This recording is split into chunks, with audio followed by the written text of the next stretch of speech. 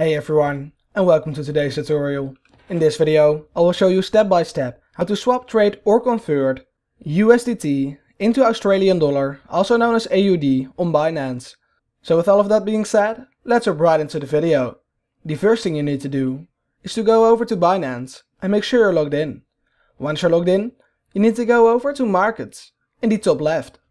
You'll then be sent over to a page looking similar to this one.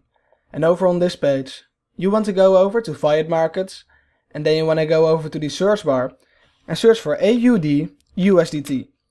You'll then see this pair pop up and you need to click on it. You'll then be sent over to this page.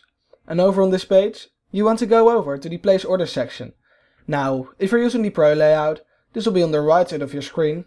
And if you're using the default layout, this will be in the middle of your screen, down at the bottom. You'll then need to go over to buy and click on market. Now, all you need to do is to fill in the amount of USDT you would like to swap, trade or convert, or however you want to name it, into the Australian dollar, also known as AUD.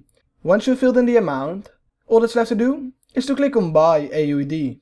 If you found this video helpful, let me know by leaving a like or subscribing to my channel for more tutorials about cryptocurrencies.